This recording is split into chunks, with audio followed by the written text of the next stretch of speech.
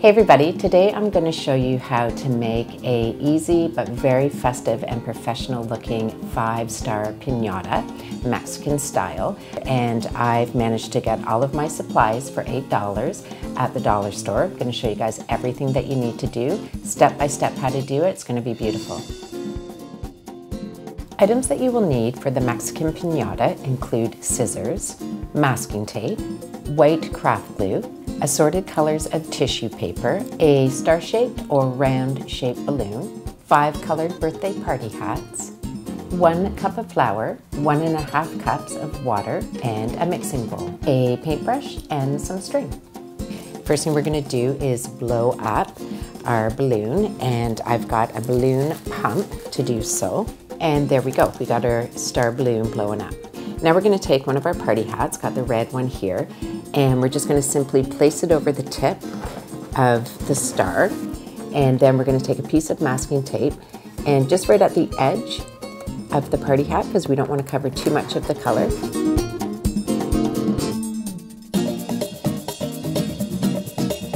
So now we have the framework of our pinata with the birthday hats attached to the balloon. And now it's time uh, for the messy stuff, the paper mache. To make our paper mache mixture, we're going to need one cup of white flour and then one and a half cups of water. And then we're just going to whisk that all in. You're gonna need a pile of newspaper and you're gonna cut it into strips. So strips that are two inches in width. And now it's the messy part. We're going to coat each piece of paper in the mixture and you can just dip it right in there, swirl it around, and then what you want to do is bring up your piece of newspaper and take two fingers and just gently rub it off. Don't pinch it too tight because you do want a nice coating. So it looks something like that. And then I'm going to start in the center and start wherever you want. That's where I'm going to start and just start laying it all down on the balloon and you overlap each edge just a little bit. We're doing three to four layers of the paper mache. And to work around the cone, you can just use some smaller pieces, cover up your masking tape there, and just overlap the balloon and the cone with your paper mache because that's going to just make sure everything's nice and attached. Now we have the first side of the pinata done and if you don't want to wait for it to dry and start working on the other side, uh, put a jar, a tall jar, and weight it. I've got a bunch of bolts and other things in the bottom of it here, a bunch of screws. And then that way it stands and you can start working on the other side and your um, front can start to dry.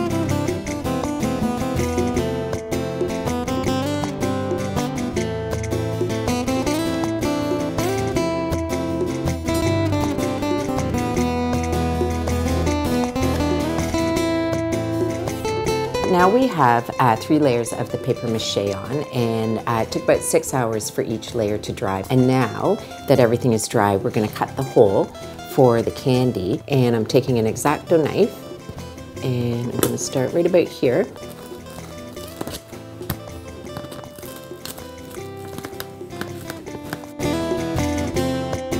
Now it's time for what I think is the fun part, the decorating of the pinata.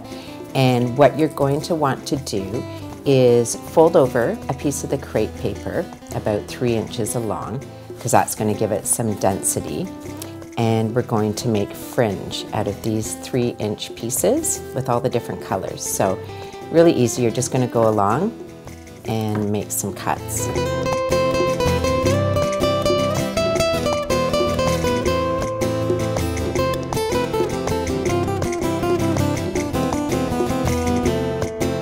We're gonna use just regular white craft glue and I'm gonna put about a third of a cup into a bowl and then we're just gonna add uh, a little drizzle of water.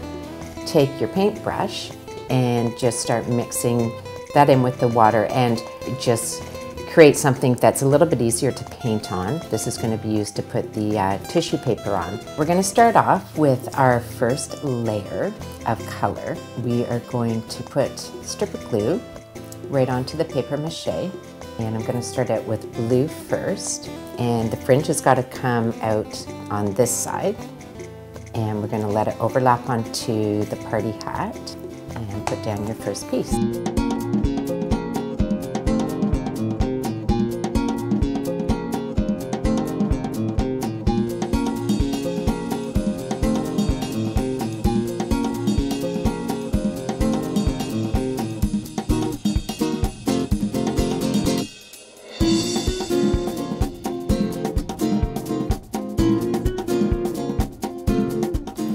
And then there is our last piece of the orange. You can see it start to come together. It looks really cool.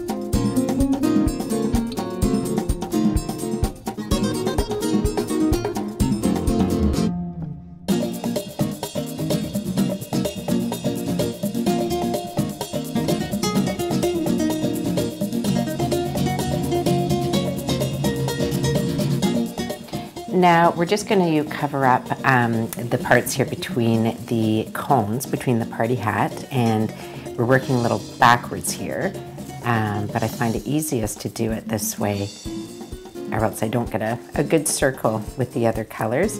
So this part's red, so we're just going to put some glue on and go in there with our red. So we are almost done and this uh, is the most exciting part for my kids anyways. We're gonna put the candy inside and it needs to be wrapped candy because likely you'll be outside and it'll be falling on the ground. So I've got uh, wrap suckers, little candies, boxes of Smarties and little chocolate bars. And now before you close your hole up, you need to put a string through to hang the pinata. So I'm just using a skewer and putting it through the paper mache.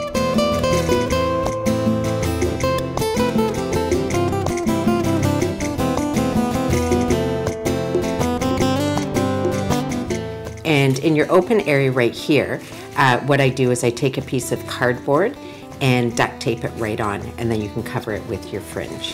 Very last step for the pinata, and this is optional, but I just took all the six colors of the crepe paper and uh, tied them together, and I'm just gonna staple them to the end of each of the cones, just so they hang down, and that's the finishing touch on the pinata. So there we go. All we have to do now is party test it.